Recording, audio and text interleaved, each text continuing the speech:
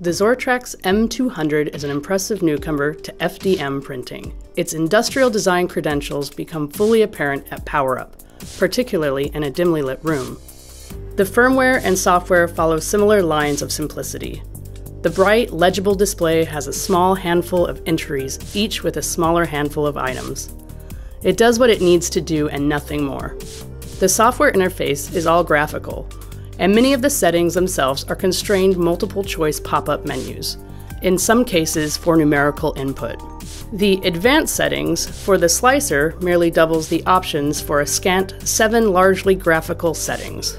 The Zortrax M200 is about printing, not fiddling. And print it does, and with distinction. While the retraction performance and bridging could use some improvements, they are good, and the surface quality and lack of Z wobble are really something to see combined with a 90 micron minimum layer thickness and the exceptional surface quality. The prints coming off the stark white print bed might just cause a bit of a swoon.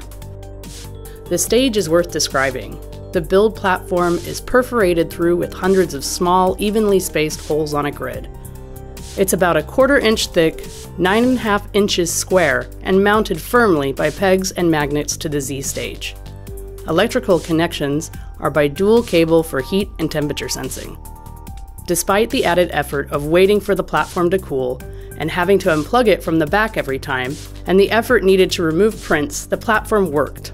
It worked consistently. It worked well consistently. Warping is simply not a factor. The prints stick to the raft. The raft sticks to the platform. Right in step with Zortrax's streamlined approach to printing, they also take all the guesswork out of material selection, even to a fault.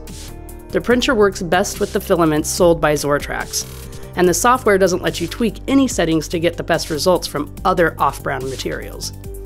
That said, there is plenty of choice to be had, including the standards of PLA and ABS, as well as the more exotic materials like high impact polystyrene and Z glass. Print after print after print, the M200 pumps out consistently excellent results.